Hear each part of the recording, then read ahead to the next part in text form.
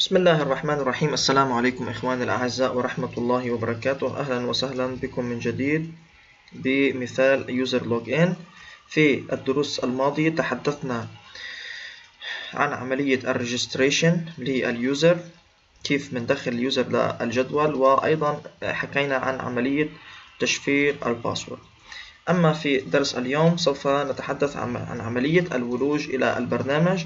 نحن هون أنشأنا واجهة login وأنشأنا واجهة interface اعتبرنا أنه هي الواجهة الرئيسية للبرنامج اللي من خلال ال login حنولج إليها.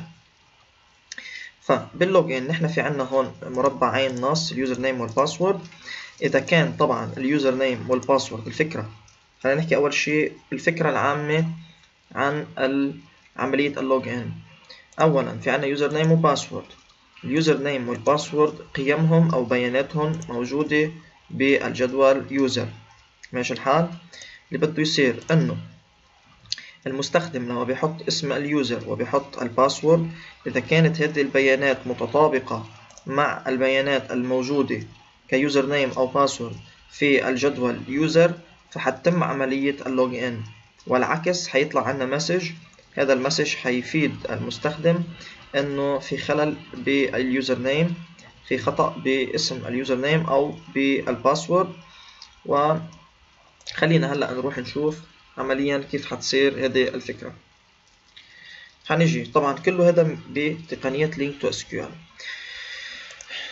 حنيجي على ندخل على ال OK طبعا أول شيء عندنا هون حنيجي ننشئ object لقاعدة البيانات لحتى نقدر نتعامل مع قاعدة البيانات ومحتوياتها.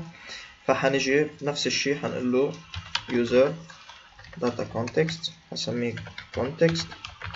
يساوي new user data context. okay وحنيجي نقول هون أول شيء حنعمله إنه آه نشفر طبعا ال password لحتى يصير في تطابق. لابد إنه نرجع كمان نشفر هون ال password لحتى يصير في تطابق. إذا ما شفرنا ال password ما حيصير في تطابق وحيصير في خطأ حتى لو حط كلمة السر صحيحة. ماشي الحال؟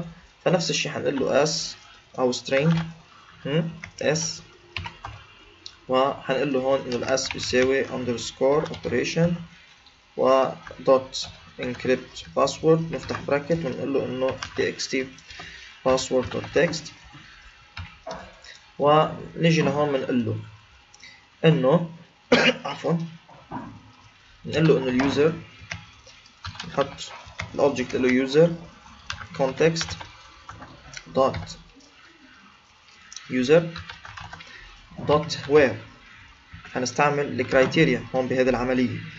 ماشي الحال هنستعمل شو؟ ال criteria وهستعمل أيضا اللامدا. هقول له C يساوي أكبر من C dot ال user name ال user name بيساوي شو؟ txt. قيمة ال txt user name dot text and ال C dot ال user password شو بيساوي؟ ال txt password dot text و dot single نحن بدنا قيمة واحدة dot شو؟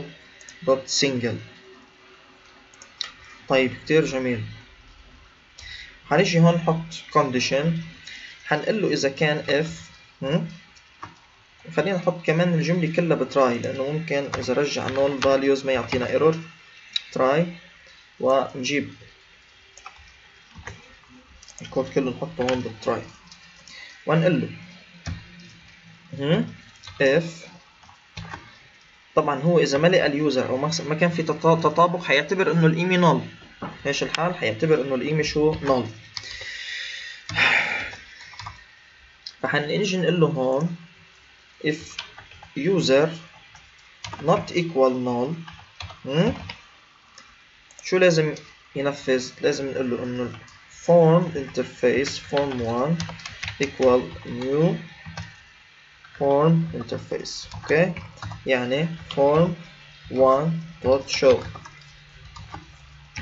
وفي حال كانت القيمة null فحنيجي نحط هون بالكاتش نقول له message box اوكي message box dot show ونحط subject title ونجي نقول هون user name or password is invalid okay invalid هون نحط error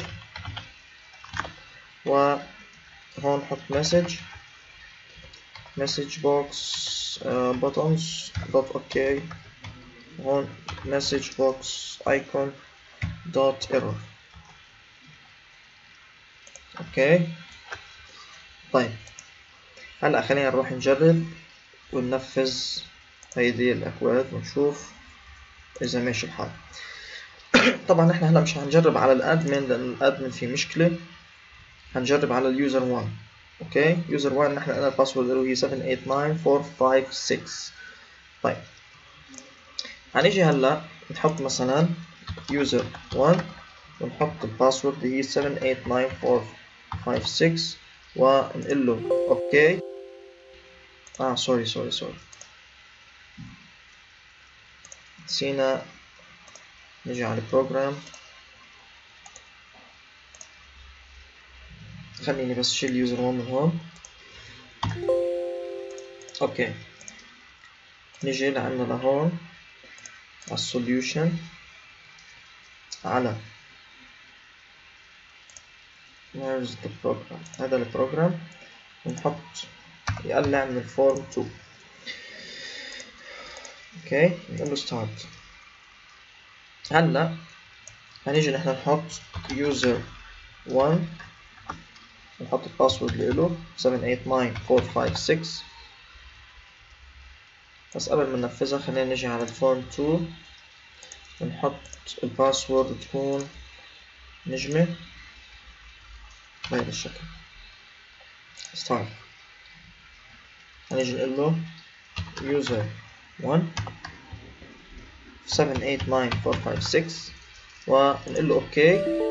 حيقلنا user name or password is invalid. يمكن حاطين كلمة السر خطأ. طيب. خلينا نجي نعمل register لشي user تاني. stop نجي على ال programs form 1 start.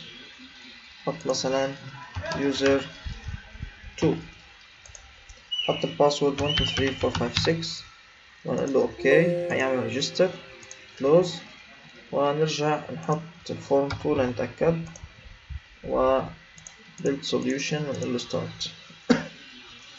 هنحط user 2 نحط مثلا 1 2 3 4 5 6 ونقول له okay.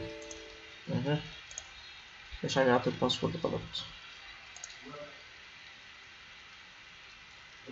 إيه؟ لا.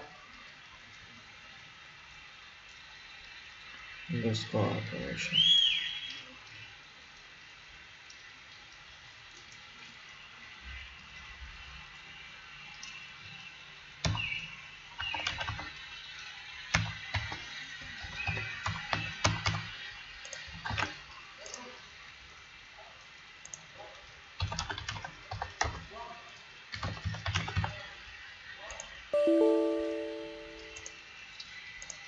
آه sorry sorry sorry نسينا هون text password.